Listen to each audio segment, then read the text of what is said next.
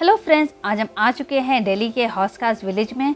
तो हमने यहाँ एक एयरबीएनबी बुक करा हुआ है, जिसका नाम है पैराडिसो जो कि एक फोर्ट व्यू डुप्लेक्स अपार्टमेंट है, जिसमें है दो बेडरूम दो बाथरूम और आपकी ज़रूरत की सारी एम्यूनिटीज़ भी यहाँ अवेलेबल है। और इस अपार्टमेंट को बहुत ही ब्यूटीफुल तरीके से डिज़ाइन किया गया है, जिससे कि आप यहाँ बहुत ही कंफर्टेबल और रिलैक्स फील करेंगे। तो चलिए शुरू करते हैं इस अपार्टमेंट के टूर को।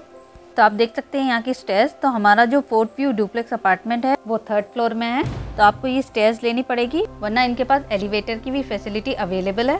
तो डो के खुलते ही आपको देखेगा यहाँ एक किचन तो आप देख सकते हैं यहाँ एक छोटा सा किचन है, जो कि बहुत साफ़ है और जिसको बहुत ही अच्छे तरीके से मैनेज करके रखा गया है। तो किचन में जो भी सामान हमें चाहिए होता है या हमें यूज़ करना होता है, वो सब यहाँ अवेलेबल है।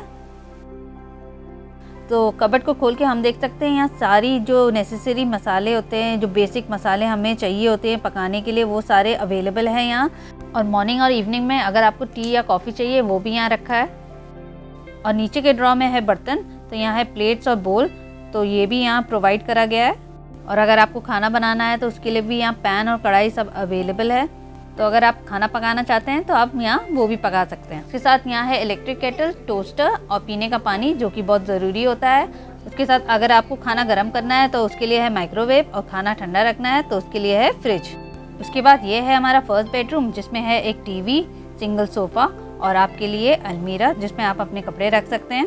साथ साथ में बेड के साइड में दो साइड टेबल्स दिए हैं, जिसमें आप अपने मोबाइल को चार्ज कर सकते हैं। तो इस बेड में आराम से दो लोग सो सकते हैं और इस रूम में एसी भी लगा हुआ है, अगर आपको यूज़ करना है आप उसे भी यूज़ कर सकते हैं। और उसके साथ रूम में एक अटैच बाथरूम है, जो कि बहुत ही क्लीन था और साफ़ सुथरा था और उसमें भी आपको सारी ज़रूरत की एम्यूनिटीज़ है, जैसे कि body wash shampoo hand wash तो आपको सब कुछ यहाँ अवेलेबल मिलेगा।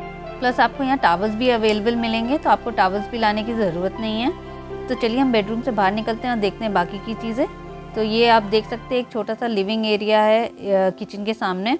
जिसको भी अच्छे से बनाया गया है और उसको अच्छे से डेकोरेट करा गया है। तो ये पॉट यहाँ तो बहुत ही सुंदर लग रहा था। उसके बाद रूम के एकदम कॉर्नर में बनाया था सिटिंग एरिया तो इस कॉर्नर को भी कितने अच्छे से डिज़ाइन करके सेट करा गया है, आप खुद ही देख सकते हैं।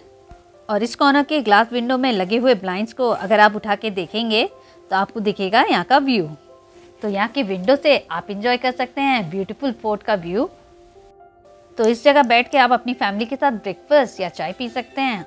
और इस साउंड बार में म्यूज़िक लगा के इंजॉय कर सकते हैं। तो चलिए अब हम चलते हैं सीढ़ियों से ऊपर और देखते हैं ऊपर के नज़ारे। तो मुझे ये कर्व वाले स्टेज भी बहुत ही अच्छे लगे। तो घर के अंदर ये स्टेज भी देखने में बहुत ही सुंदर लग रहा था और बैक साइड में भी स्टेज के एरिया में आप देख सकते हैं बड़ा सा मिरर लगाया गया है।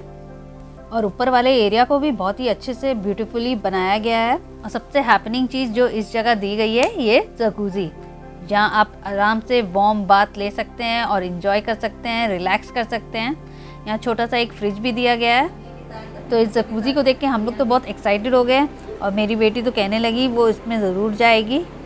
और ऊपर वाले रूम में भी था एक बेडरूम तो ये बेडरूम एकदम एग्जैक्टली exactly नीचे वाले बेडरूम के तरह ही बना था। इसमें भी सेम चीज़ें दी गई थी जो नीचे थी। तो यहाँ भी दो साइड टेबल दिए थे बेड के साइड में और यहाँ भी एक अटैच बाथरूम दिया था।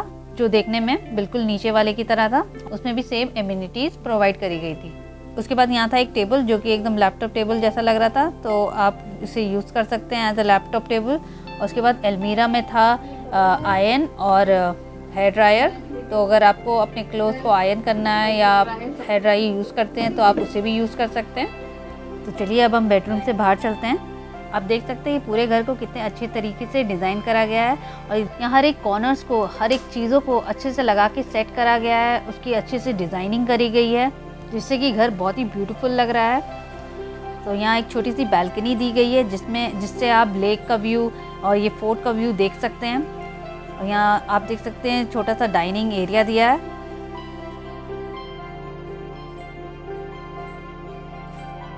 उसके बाद यहाँ स्लाइडिंग डोर को खोल के है ऊपर का रास्ता तो हम यहाँ से जाएँगे टेरेस पे। तो मैं गई थी टेरेस इवनिंग टाइम में तो मैं आपको इवनिंग की रिकॉर्डिंग अब दिखा रही हूँ। तो आप टेरेस के मज़े इवनिंग टाइम में ले सकते हैं, क्योंकि दोपहर में यहाँ बहुत ही तेज़ धूप होएगी। तो आप देख सकते हैं टेरेस को भी कितने अच्छे तरीके से सेट करा गया है। तो इवनिंग टाइम में टेरेस में अच्छी हवा चल रही थी और हमें भी यहाँ बहुत मज़े आ रहे थे। आप देख सकते हैं यहाँ सामने लेक है और लेफ़्ट साइड में है फोर्ट तो आपको एक वॉशिंग मशीन भी प्रोवाइड करी गई है। तो अगर आपको अपने कपड़े धोने हैं तो आप इस वॉशिंग मशीन में धो सकते हैं।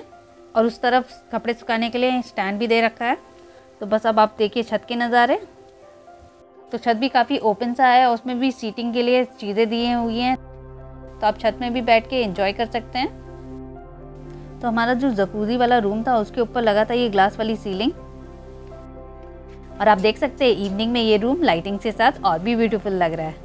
आई होप आपको ये अपार्टमेंट का टूर पसंद आया होगा। तो बस अब आप इस फ्लैट का देखिए ओवरव्यू जिसके हर एक कॉर्नर को ब्यूटीफुली डिज़ाइन करके अच्छे से सेट करा गया है। तो फ्रेंड्स अगर वीडियो पसंद आया हो तो do like share and follow